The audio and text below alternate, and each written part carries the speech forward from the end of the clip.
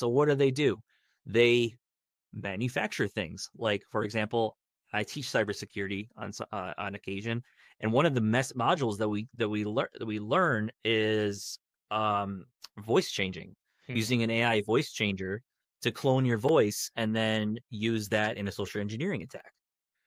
Um, it's a free application online. I don't. I, I show the class a free application. It's it's. it's I, I go and tr- clone my own voice and I make it say crazy things, and you can do that with anyone's voice now. Anyone. Yep.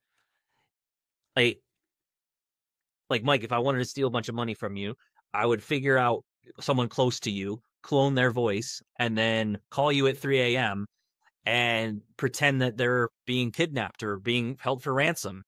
And if you call the police, they're gonna die. So you don't call the police. Pay this Bitcoin. I'm like, well, good luck, buddy. That sucks. I'll talk to you yeah. in the morning. I'll go back to sleep. yeah, yeah. No, I mean that's true, especially with like your older people. That's why it works. You know, they're concerned.